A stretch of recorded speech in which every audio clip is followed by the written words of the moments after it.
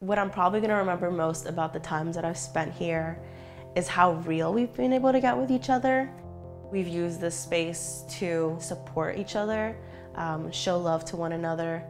My name is Marisol Fernandez and I am a double major in Spanish and psychology with a focus on education. The Ortega holds a lot of sentimental value in my heart. My first year I really struggled finding community on campus, but the moment I walked into this space with those people, I felt at home. This space has really broken boundaries through relationships, not just with students, but also with faculty and staff and the outside Latinx community.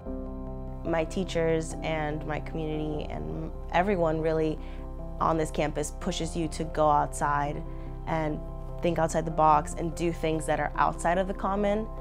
And I think through that I was able to find my field, I was able to find my future.